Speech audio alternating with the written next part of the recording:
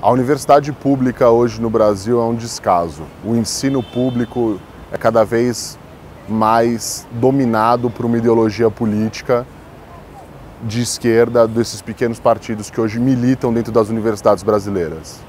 É um absurdo ver que a universidade deixou de criar grandes teorias plurais onde as, as melhores cabeças estiveram relacionadas e passou a defender uma única posição, uma posição de militância. Nós tentamos a cada dia brigar mais para uma construção de uma universidade plural, onde os diversos tipos de pensamento sejam aceitos e principalmente para que a universidade volte a produzir talentos para o desenvolvimento econômico do nosso país. A nossa universidade não pode formar pseudo-intelectuais que só falam de uma teoria frustrada dos anos 30, 40, 50. A nossa universidade tem que olhar para frente, tem que olhar para a modernidade, tem que fazer como as grandes instituições do mundo, pensar no futuro e agregar valor para a nossa sociedade.